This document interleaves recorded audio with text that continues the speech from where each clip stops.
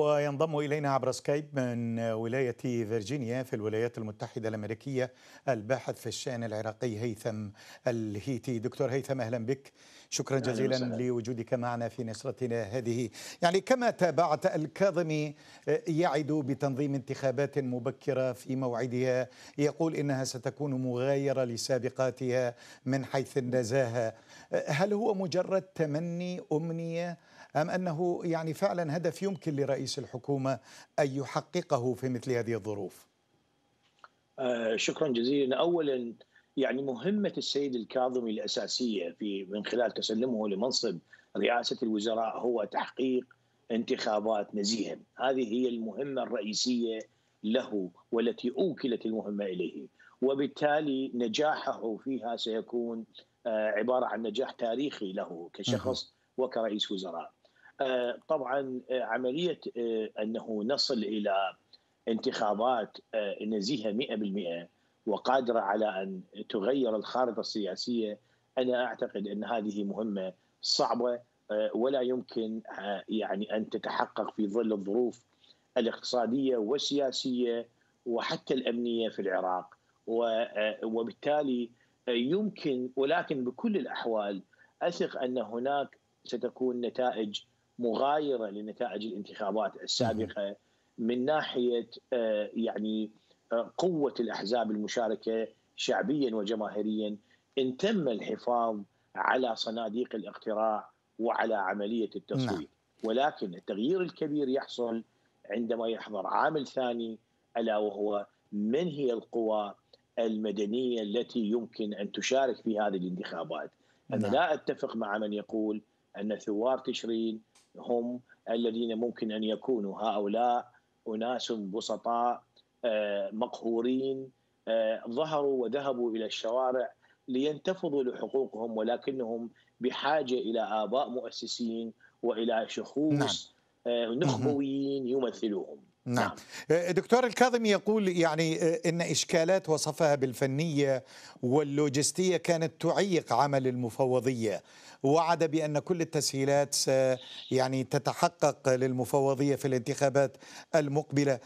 هل أن الأمور الفنية واللوجستية هي التي كانت فقط تعيق عمل المفوضية أم أن هناك اسبابا أخرى؟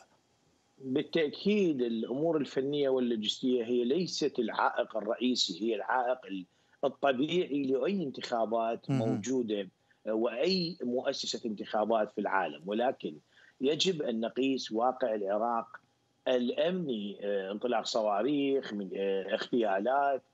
هذه منطقة تسمى بالمفهوم السياسي هوت زون منطقة ساخنة.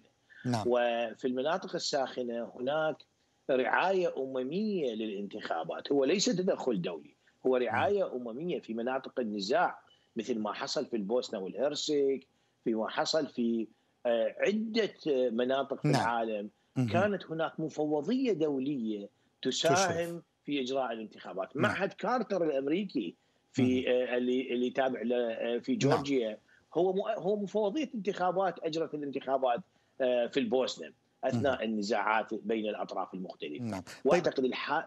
بحاجة نحن إلى شبيه إلى ذلك وليس بشكل كامل. نعم. نعم. هو هو لم يتطرق ابدا إلى الخروقات السياسية داخل مجلس المفوضين ما أدى إلى يعني الإساءة إلى نزاهة الانتخابات وتزوير نتائجها.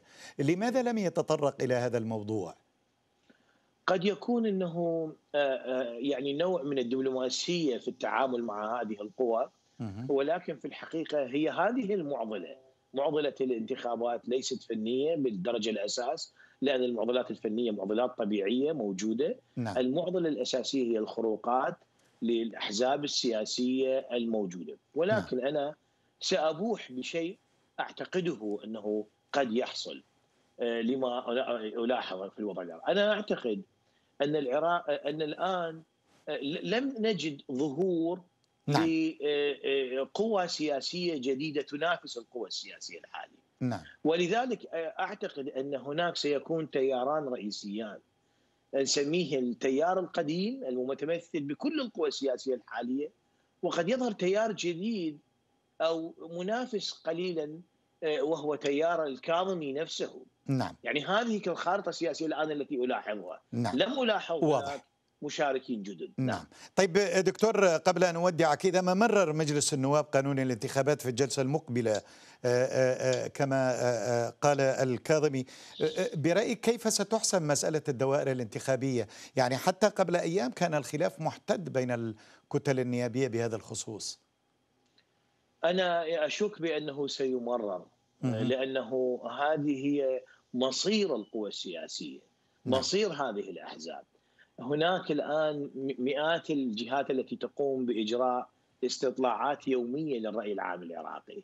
وتعرف جيدا حتى هذه الأحزاب تعرف جيدا أن جماهيرية هذه الأحزاب أصبحت غير قادرة أن تستخدم حتى الاستمالات العاطفية والدينية في التأثير مهم. وبالتالي هي مربكة وخاسرة ولذلك أنا أعتقد أننا الآن في مرحلة صراع كبيرة داخل البرلمان العراقي ليس لقوى أو جهة واحدة وإنما كل الحرس القديم كل القوى السياسية نعم. الحالية هي واضح. تريد أن تحافظ على مهم. وجودها وهناك خوف الآن من آه، يعني ظهور أي قوة أو أحزاب جديدة آه، آه، يعني تقتنص الفرصة الكبيرة نعم عبر سكايب من ولاية فيرجينيا في الولايات المتحدة الأمريكية الباحث في الشأن العراقي الدكتور هيثم الهيتي شكرا جزيلا لك